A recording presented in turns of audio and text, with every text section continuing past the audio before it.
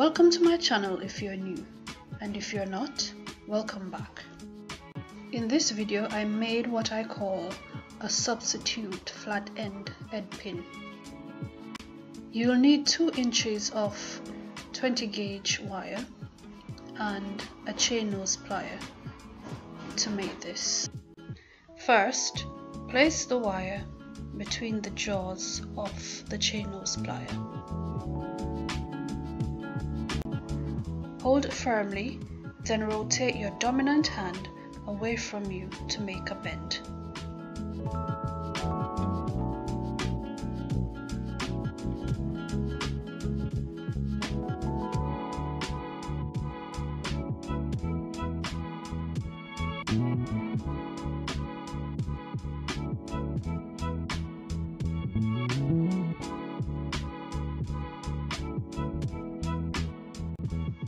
Place it between the jaws of the chain nose plier, then squeeze it down.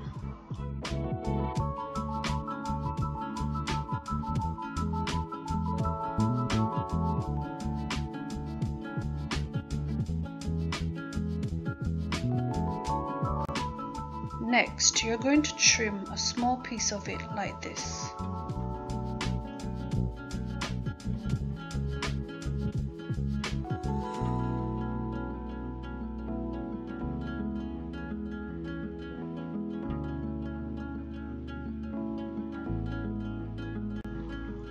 Next, place it between the jaws of the plier, then squeeze it down.